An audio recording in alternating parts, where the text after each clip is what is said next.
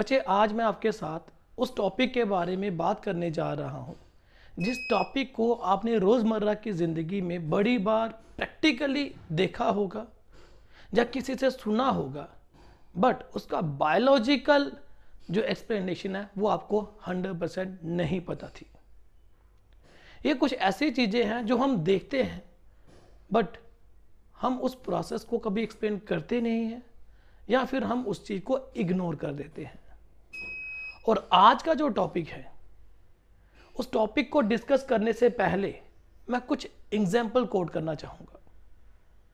बच्चे, आपने देखा होगा कि जो डक के बच्चे होते हैं, जिसे हम डकलिंग कहते हैं, वो हमेशा अपनी मदर को फॉलो करते रहते हैं। जहाँ जहाँ मदर जाती है, उसके पीछे पीछे उसके डकलिंग जाते हैं।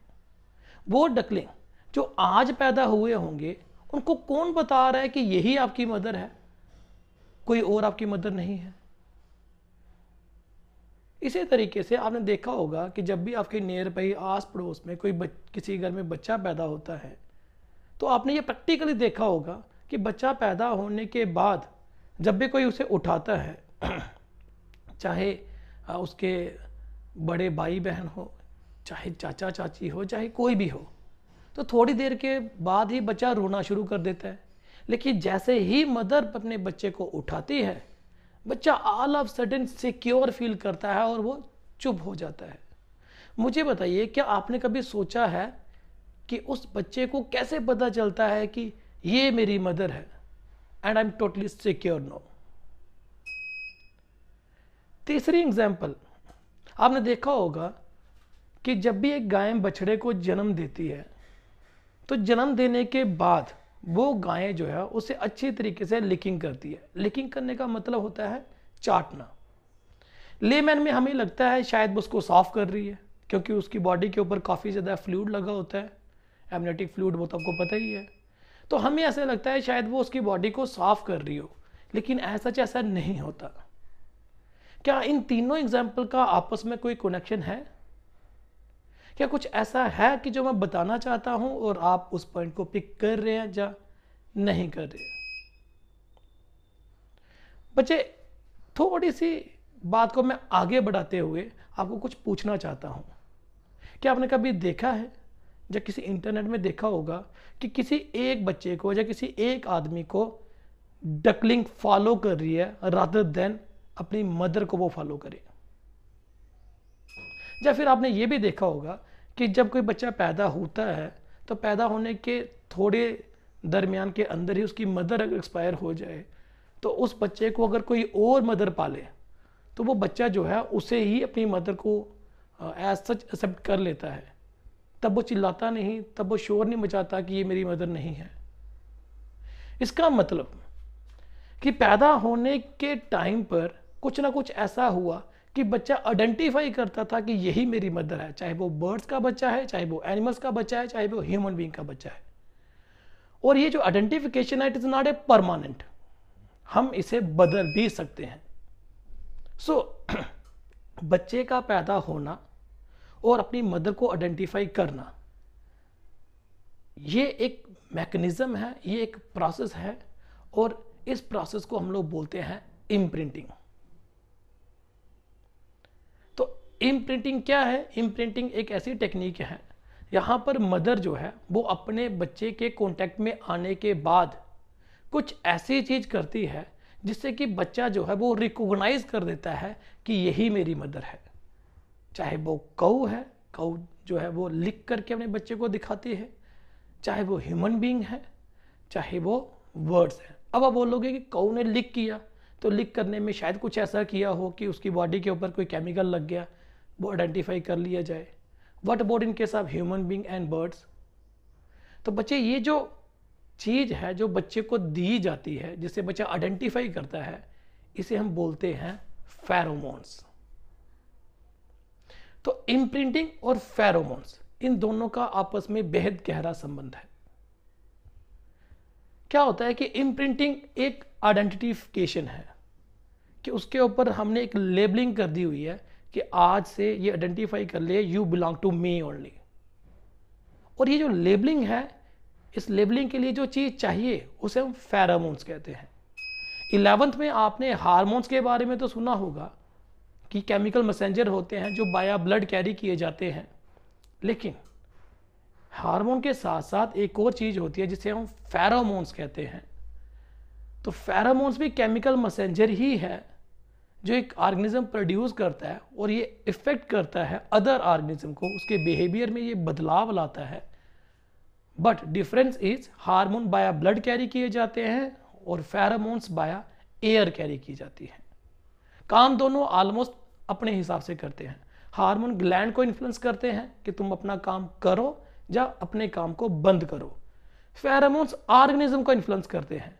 उस ऑर्गेनिज्म में फेरामोन जाएँगे depending upon the nature of pheromone सामने वाले ऑर्गेनिज्म का रिस्पांस बदल जाएगा।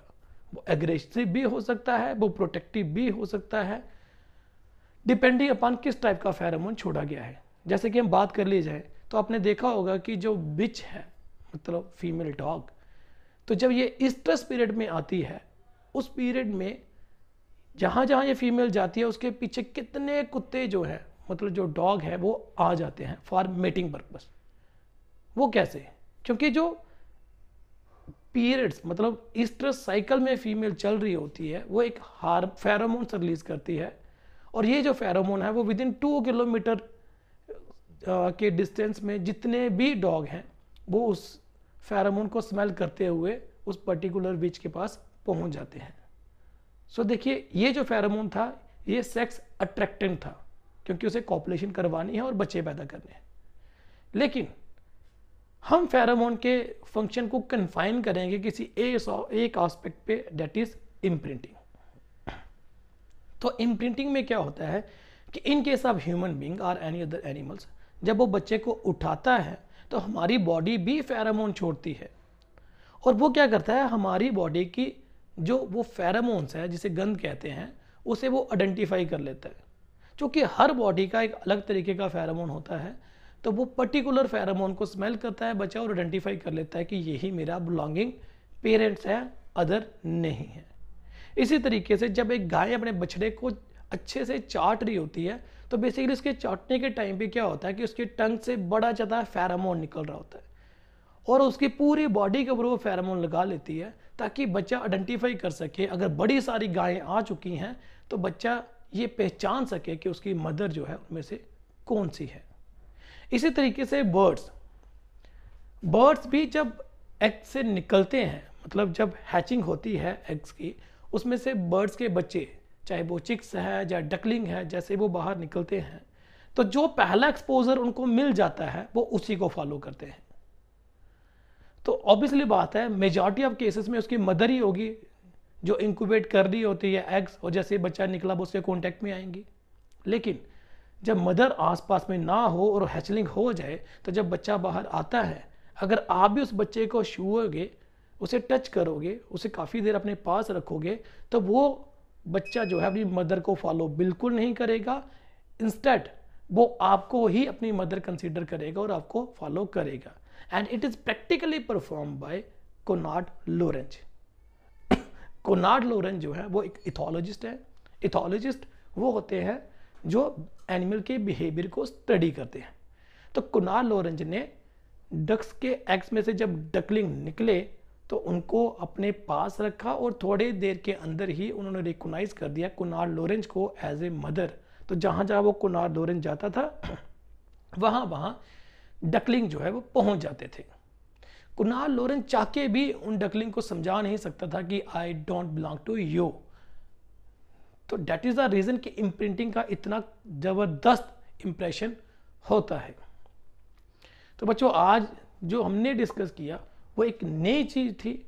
वो चीज़ क्या थी? वो था वट अबाउट इम्प्रिंटिंग यही कारण है कि मोस्टली जो गाँव वाले इलाके में, जैसे मैं भी छोटा था तो मेरे भी पेरेंट्स कहते थे कि अगर पेड़ पे चढ़ोगे तो नेस्ट में बच्चों को बिल्कुल टच नहीं करना, उनके एग्स को बिल्कुल टच नहीं करना। क्यों? क्योंकि अगर हम उनके एग्स को, उनके नेस्ट को या उनके हैचलिंग को टच करेंगे तो हमारा जो फेरामोन है, वो स्मेल कर लेंगे तो वो हमें अपना पेरेंट्स कंसिडर करेंगे, जिसकी वजह से वो नेस्ट में रहते हुए भी अपने आप को आइसोलेट कर देंगे। बिकॉज़ वो कंसिडर करेंगे कि ये हम में से नहीं है। तो नो डाउट हमारे पेरेंट्स जो हैं, वो फेरामोन को तो नहीं जानते बट हाँ वो इस आइडिया को पक्का जानते थे कि कुछ होता है जिसकी वजह से बर्ड्स जो हैं, वो अपनों के बीच में भी अलग हो जाते हैं just mere touching of them जैसे हम उसे टच करते हैं, बस उसी वक्त उनकी जो इम्प्रिंटिंग है, वो चेंज हो जाती है। So number one imprinting is not inborn number two imprinting can be moulded can ये जैसे मैंने पहले बोला कि इम्प्रिंटिंग इनबॉर्न नहीं होती है, उसका प्रूफ है कि जब बच्चे पैदा होते हैं मदर टच देती है, तभी वो मदर को फॉलो करते हैं। अगर कोई बोलेगा, नहीं नहीं भाई, ये तो इनेट ही था। तो हम मदर की रिप्लेसमेंट में अगर हम टच करेंगे, तब भी बच्चे वैसा ही बिहेव करेंगे। तो होपफुली बच्चे आज छोटे से टॉपिक के बारे में डिस्कस की है बट काफ़ी मज़ेदार टॉपिक होगा और आपको अच्छे से समझ आई होगी। Thank you